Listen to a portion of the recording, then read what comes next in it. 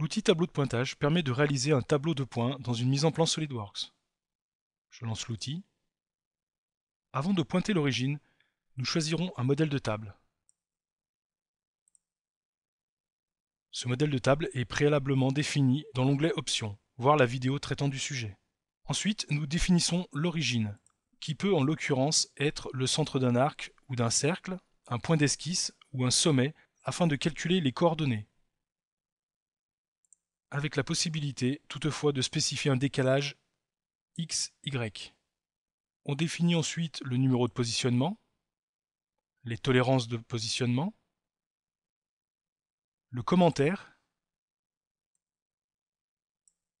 et le symbole à ajouter. Le numéro est proposé automatiquement, mais peut être modifié.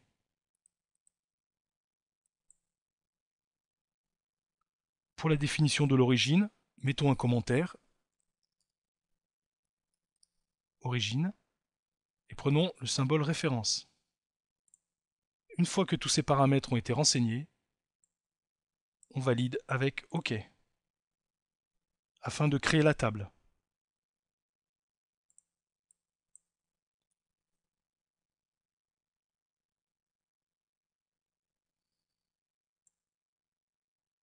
Maintenant, on va pouvoir sélectionner les éléments à ajouter.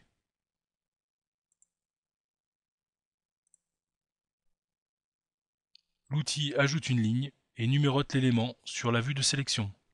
Pour afficher dans le tableau les définitions ou les symboles, il faut les définir avant de sélectionner l'élément.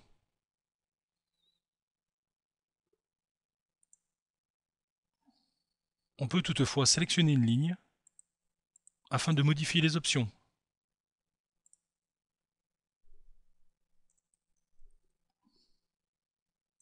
Si je sélectionne un perçage créé avec l'outil Bibliothèque de perçage, son type sera reconnu automatiquement, rapatriant le symbole et le numéro de position.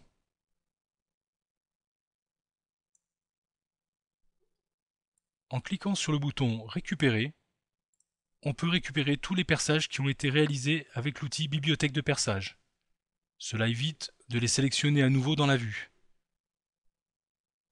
Si l'option Informations complémentaires a été cochée au moment de la création de ces perçages, ces informations ne pourront pas être modifiées dans la table de pointage. Il faudra aller dans le 3D pour effectuer cette modification qui mettra automatiquement à jour la table de pointage. À tout moment, on peut modifier l'origine en cliquant sur Redéfinir. OK. Tout le tableau sera ainsi recalculé en fonction de la nouvelle origine. On peut également redéfinir la table, par exemple si on veut supprimer ou ajouter une colonne. Dans Options, Gérer, je sélectionne ma table, je vais ajouter la colonne Tolérance. OK, oui. Je retourne dans l'onglet Type et je redéfinis ma table. Redéfinir. OK. La table est recalculée avec la nouvelle colonne tolérance.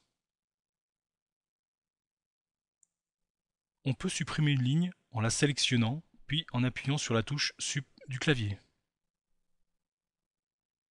Ou avec Efface Supre du menu contextuel. La note correspondante sera également supprimée de la vue. Ne pas utiliser la commande Effacer la ligne.